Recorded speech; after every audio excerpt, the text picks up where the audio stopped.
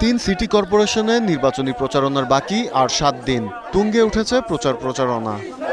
রাজশাহী নগরীর একুশ নম্বর ওয়ার্ডে গণসংযোগ করেন আওয়ামী লীগের মেয়র প্রার্থী A H M Khairuzzaman Liton. আর বিএনপির মেয়র প্রার্থী মোসাদ্দেক হোসেন বুলবুল গণসংযোগ করেন তিন নম্বর ওয়ার্ডে। এ সময় নেতাকর্মীদের গ্রেপ্তারের অভিযোগ করেন বিএনপির মেয়র প্রার্থী মোসাদ্দেক হোসেন বুলবুল। আমাদের বিপক্ষ প্রার্থী, তিনি প্রতিনিয়ত চাপের উপর রেখেছেন পুলিশ কমি পুলিশকে।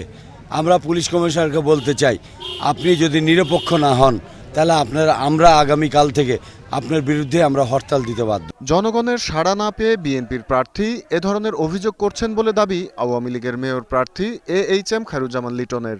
জনগণ নাগরিকগণ তার কাছ থেকে মুখ ফিরিয়ে নিয়েছেন তার দল বা তার প্রতীক থেকে মুখ ফিরিয়ে নিয়েছেন এবং নৌকামার্কার পক্ষে তারা রায় দিবেন এটি বুঝতে পেরেই আমাদের প্রতিদ্বন্দ্বী প্রার্থী মোসাদিক হোসেন বুলবুল হয়তো এই জাতীয় কথা বলছেন। সিলেটে নৌকা ও ধানের শীষের প্রার্থীদের ঘিরে প্রচারণায় কর্মী সমর্থকদের বহর বাড়ছে।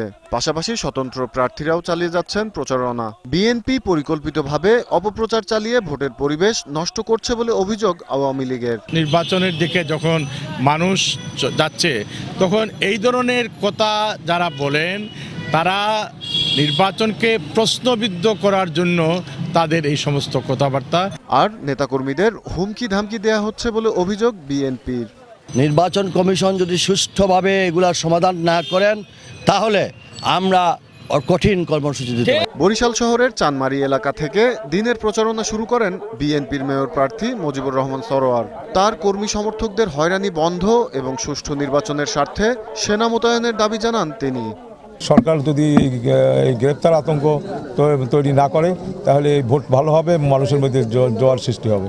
তিন সিটিতে দিনরাত প্রচারণা চালাচ্ছেন কাউন্সিলর প্রার্থীরাও। মিজানুর রহমান, একুশে টেলিভিশন।